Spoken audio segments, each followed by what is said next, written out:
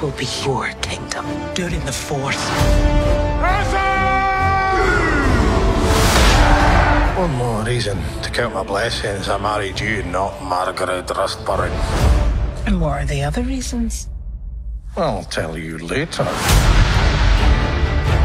Disa is the wife to Prince Durin. She is for the people, but is not afraid to get her hands dirty.